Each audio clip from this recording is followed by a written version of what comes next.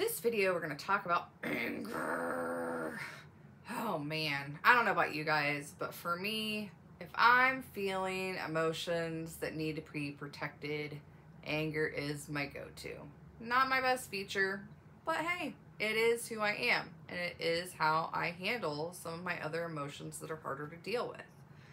So, if I have trouble with this, I would imagine there's several more out there. Several more people out there who also tend to go to anger when they're having to protect another emotion that's really vulnerable. There are some ways for us to try to work on getting that anger out without hurting anybody or without screaming at people or hurting their feelings or taking it out on them, which is oftentimes what happens with anger. But until we can figure out what's under our anger, we really want to try to see if we can do a better job of focusing our anger and getting control over it.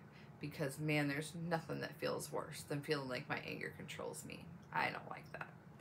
So here's a few tips that I use. I'm going to read here for just a second, so I'm not going to look exactly at the screen, but I'll try to come back and make eye contact.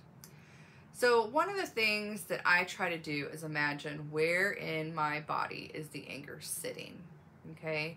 So if I feel really angry, sometimes I'll feel it in my shoulders or sometimes it's in my chest, sometimes it's in my hands or my arms. That's usually where my muscles are tightening up because I'm really frustrated or really mad. And so the first thing I do is try to visualize in my body where is my anger sitting. And I notice that it's sitting there and then I will try to relax those muscles.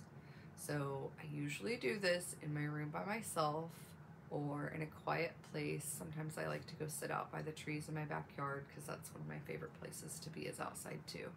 So just finding a space where I can sit by myself and relax those muscles so that I can try to do the opposite of feeling angry by letting my body not feel so angry.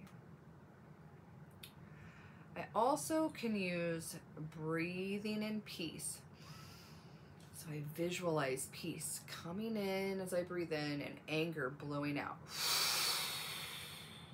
And I'm to blow that anger out of my body so that it's not sitting in here. Okay?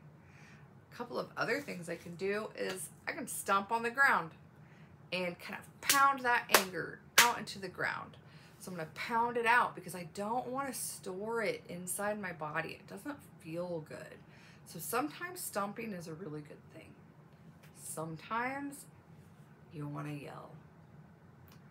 And it might not be the right place to yell. But sometimes it is the right place to yell. So if you can find a good place to yell, roar like a lion or just ah!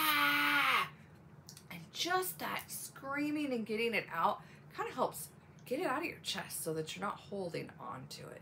It doesn't mean that the thing that has hurt you or that you're afraid of has gone away. But now we're not storing that anger in there. We've gotten it out of our body so that we can really look at what's under our anger. Maybe it's sadness. Maybe it's loneliness. Maybe it's feeling isolated or ignored. Maybe it's that I am scared. But if we can scream it out of the body, then we can actually deal with the emotion that's underneath it. So if you need help with that emotion that's underneath your anger, please go and ask somebody to help you figure out what that is. That emotion pillow is a really great way of trying to discover what else might be under your anger. I hope this one is helpful.